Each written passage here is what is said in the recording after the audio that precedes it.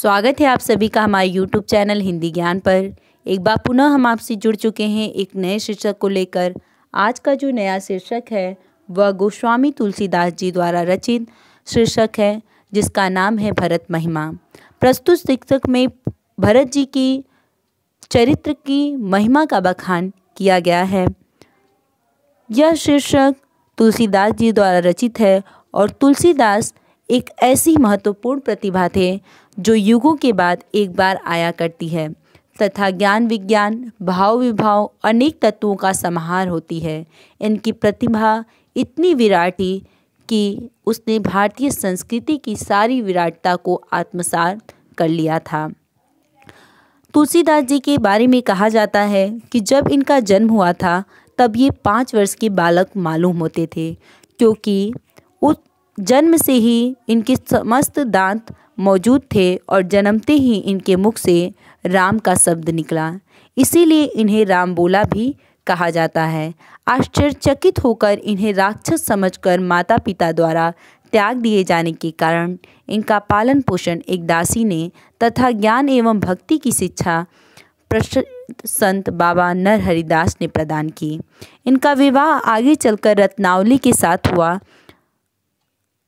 इनके बारे में कहा जाता है कि रत्नावली की फटकार से ही इनके मन में वैराग्य उत्पन्न हुआ और इनकी पत्नी, एक बार इनकी जो पत्नी थी, बिना बताए ही मायके चले जाने पर प्रेम आतुर तुलसी अर्धरात्रि में आधी तूफ़ान का सामना करते हुए अपने ससुराल जा पहुँचे। पत्नी ने इनके लिए इन्हें फटकारा। इसके लिए इन्हें फटकारा। फटकार से इन्हें वैराग्य हो गया। इसके बाद काशी के विद्वान से सनातन से तुलसी ने वेद वेदांग का ज्ञान प्राप्त किया और अनेक तीर्थों का भ्रमण करते हुए राम के पवित्र चरित्र का गान करने लगे। तो आइए इस शीर्षक को देखते हैं। भरत महिमा गोस्वामी तुलसीदास ने रामचरितमानस से अवतरित प्रस्तुत प्रसंग में भरत की भातृभक्ति को उद्घाटित किया है। राम को पिता के द्वारा वनवास दिए जाने के बाद भरत उनको वापस बुलाने के लिए पैदल ही वन की ओर चल देते हैं। उनका भातृ प्रेम आदर्श एवं अनुकरणीय है।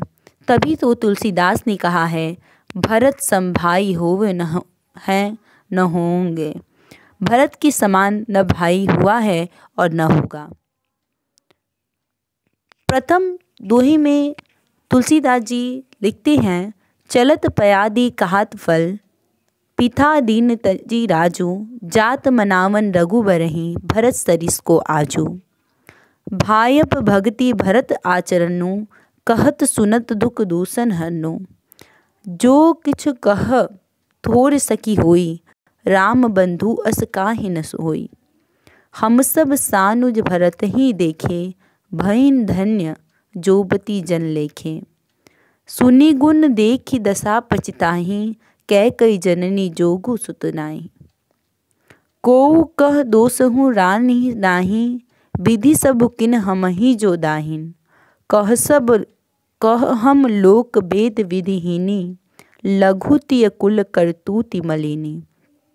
बसही कुदेश कुगाव, कुबामा, कह यह दर्शु पुण्य परिणामा। अस अनंदु अचिरज प्रतिगामा, जनु मरुभूमि कल्पत रूजामा। प्रस्तुत पंक्तियों में भरत जी राम को मनाकर लौटा लाने के लिए चित्रकूट जा रहे हैं। इस दोहे में, इनके संबंध में, मार्ग में पड़ने वाले ग्रामों की, स्त्रियों की प्रतिक्रिया का वर्णन किया गया है, जो कि इस प्रकार है। चलत पयादे खात फल, पिता दीन तजिराजो एक स्त्री अपनी सखियों से कहती है कि पिता के द्वारा दिए जिस राज्य पर भरत का पूर्ण अधिकार था, उसका परित्याग करके चलद पयादे पयादे अर्थात पैदल ही खात फल, फलाहार करते हुए पिता दीन तजिराजू पिता के द्वारा दिए गए राजपाट का त्याग करके जात मनावन रघुबर ही श्री राम जी को मनाने के लिए भरत जी जा रहे हैं। भरत सरिस को आजू आज भरत के समान कौन है? अर्थात भरत जी के समान राम का अनुरागी, त्यागी और विरागी कौन होगा? भायप भक्ति भरत आचरणों। भायप अर्थात भ्रातृत्व। भरत का आचरण। प्रेम, भक्ति और भाईचारे का आचरण है। कहत सुनत दुख दोसन हरूं इसका वर्णन करने और सुनने से सभी दुख दूर हो जाते हैं। जो कछ कह, जो कुछ कहब थोर सखी होई। भरत जी के बारे में एक सखी कहती है कि, हे सखी, उनके संबंध में जो कुछ भी कहा जाए, थोड़ा होगा। राम बंधु अस काहे न होई? श्री रामचंद्र जी के भाई ऐसा क्यों न हो? अर्थात, भरत जी श्री रामचंद्र के भाई हैं तो ऐसे क्यों ना हो? हम सब सानुज भरत ही देखे।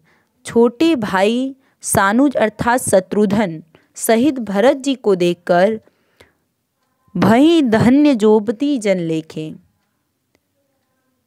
हम सब भी आज बड़भागिनी स्त्रियों की गिनती में आ गई हैं।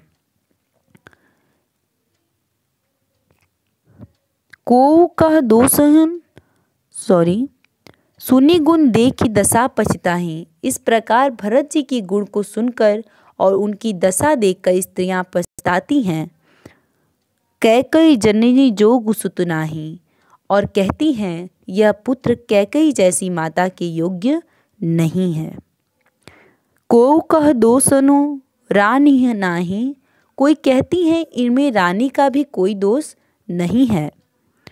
विधि सबो किन हम ही जो दाहिन।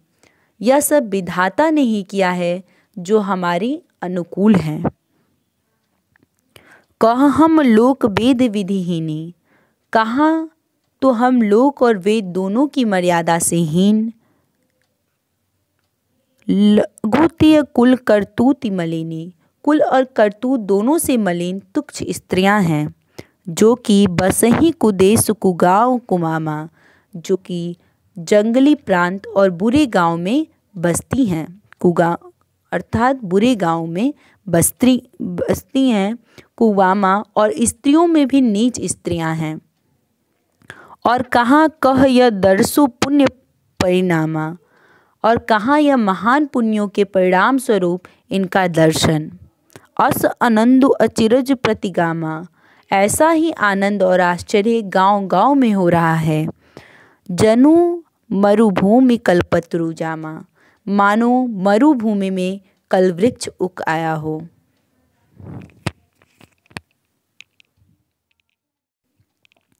आगे की पंक्तियों में तुलसीदास जी ने कहा है ते ही बासर बसी प्रात ही चली सुमिरे रघुनाथ राम दरस की लालसा भर सरिस सब यहाँ भरत समय अयोध्या वासियों में राम के दर्शन की लालसा श्रद्धा और भक्ति का बहुत सुंदर एवं मार्मिक ढंग से वर्णन किया गया है। ते ही बासर बसी प्रात ही। कहते हैं, ते ही, उस बासर मतलब दिन। अयोध्या वासियों के साथ उस दिन वही ठहर कर अगले दिन प्रातः काल ही चले सुमिरे रघुनाथ। श्री राम का स्मरण करके भरत जी आगे बढ़े। राम दरस की लालसा भरत सरित सब साथ। उनके साथ के सभी लोगों में राम के दर्शन की उत्कट लालसा लगी है। इसीलिए वे शीघ्र ही श्री राम के समीप पहुँचना चाहते हैं। मंगल सगुन हो ही सब काहूँ, फरक ही सुखद बिलोचन बाहूँ। भरत ही सहित समाज उछाऊ मिलही रामू मिटही दुखदाहू करत मनोरथ जस जिय जाके, जा ही सनेह सुरा सब झाके। शिथिल अंग, पग मग डगी डोलही, बिहवल वचन, प्रेम बस बोलही। राम सखा ते ही समय दिखावा सैल सिरोमणि सहज सुहावा, जासु समीप सरित पैतिया तीरा सिय समेत बस ही दो बेरा।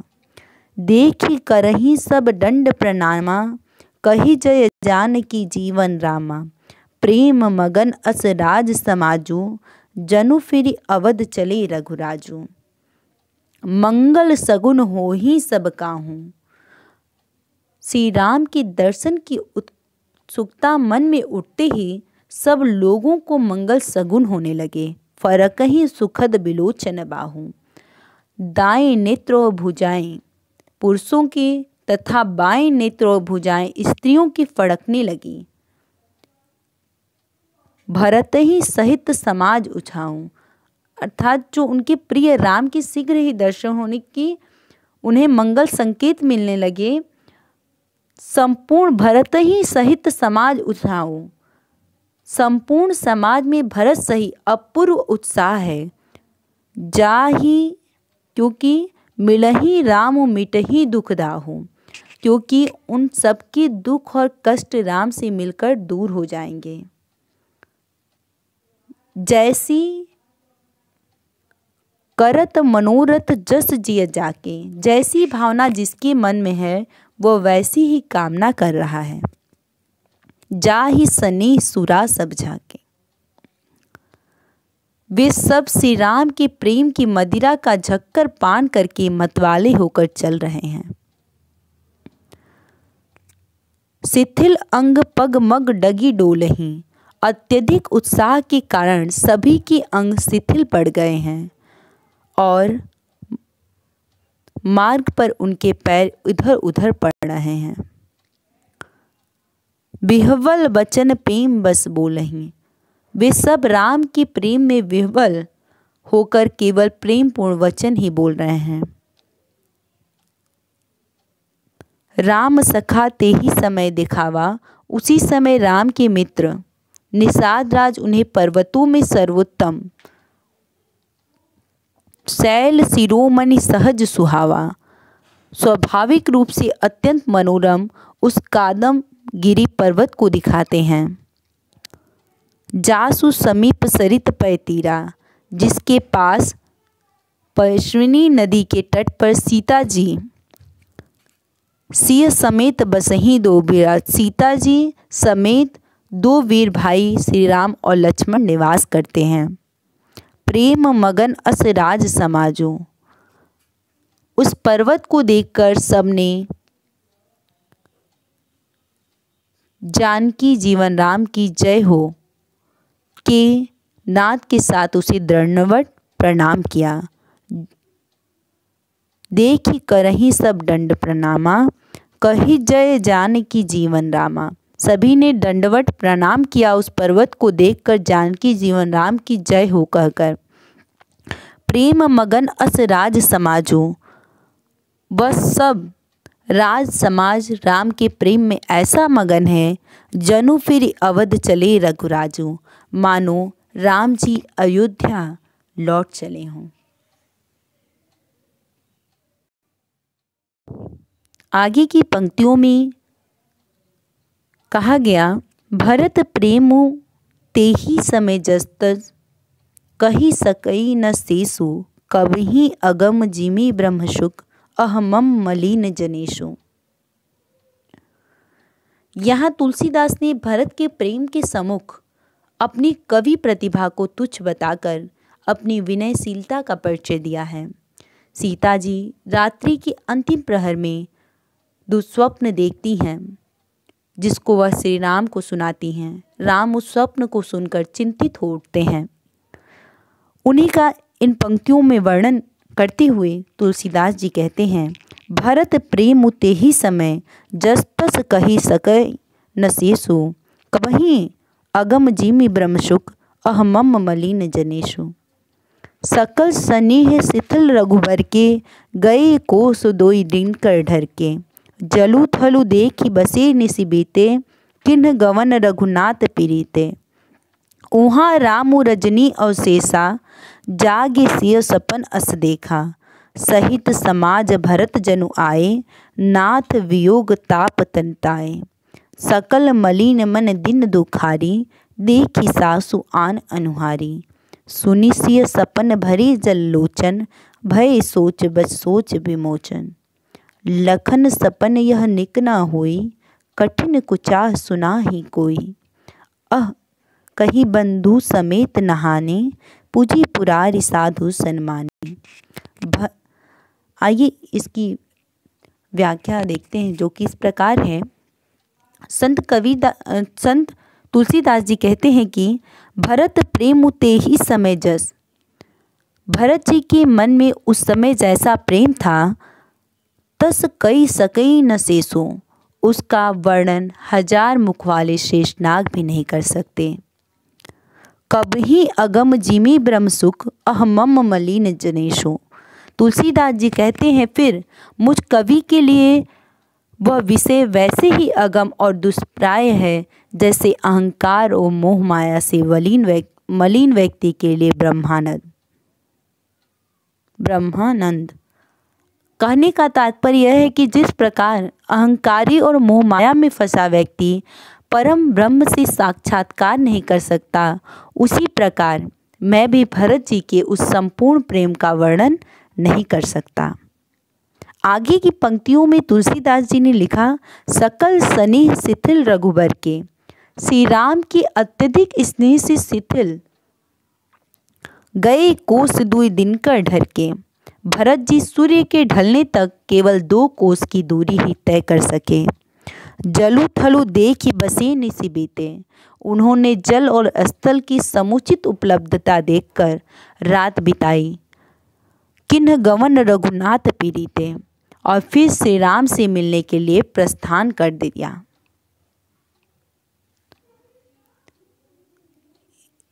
इधर वहाँ राम रजनी अवशेषा, इधर राम जी रात्रि के शेष रहते ही जाग गए। जाग सिय सपन अस देखा। सीता जी ने तभी एक ऐसा दुस्वप्न देखा कि उनकी आँखें घबराकर खुल गईं। सहित समाज भरत जनों आई नाथ वियोग ताप तनताए। उनका शरीर वो कहती है कि उस स्वप्न को वे श्री राम को सुनाने लगी कि मैं स्वप्न में मैंने देखा कि मानो भरत जी यहाँ पर समा सहित, अर्थात अयोध्या वासियों के सहित आए हुए हैं। नाथ वियोग ताप तन ताए, उनका शरीर प्रभु के वियोग की अग्नि में जल रहा है। सकल मलिन मन दिन दुखारी उनके साथ आए सभी लोगों के मुख मलिन हैं और दीनहीन से उन सब के मन अत्यंत दुखी हैं। देखी सासु आन अनुहारी, उनके साथ आई सासुओं को भी मैंने दूसरे ही रूप, यानी विधवा रूप में देखा है। सुनी सिय सपन भरे जल लोचन श्री राम की आँखों में सीता जी के इस स्वप्न को सुनकर आँसू आ गए। भय, सोच बस सोच विमोचन। संपूर्ण लोगों की चिंताओं को दूर करने वाले वे श्री राम स्वयं चिंताग्रस्त हो गए। लखन सपन यह निक न हुई। वह अपने भाई लक्ष्मण से कहते हैं कि, लक्ष्मण, यह कोई बुरा स्वप्न है, यह सपना अच्छा नहीं है। कठिन कुचास सुनाए ही कोई। ज़रूर ही अत्यधिक कष्टकारी अशुभ समाचार सुनने को मिलने वाला है। अस कहीं बंधु समेत नहाने। यह कहकर श्री राम ने भाई लक्ष्मण सहित स्नान करके पूजी पुरारी साधु सन्माने शिव की पूजा करने के उपरांत साधु संतों की वंदना करके उनका सम्मान किया। तुलसीदास का यह कथन महाकवि कालिदास के उस कथन से प्रेरित लगता है, जिसमें उन्होंने सूर्यवंशी राजाओं के वंश वर्णन के लिए स्वयं को अल्प बुद्धि बताया है। तुलसीदास जी ने जब यह कहा कि मैं उस समय का जो उनके मन में राम जी के लिए प्रेम है, भरत जी के मन में, उसका मैं वर्णन नहीं कर सकता। एक बार कालिदास जी ने भी यह लिखा था कि, कव सूर्य प्रभु वंश, कव चाल प्रविष्यामति तीर तीर्थहूँ तुस्तरम मोहांडो नास्मी सागरम।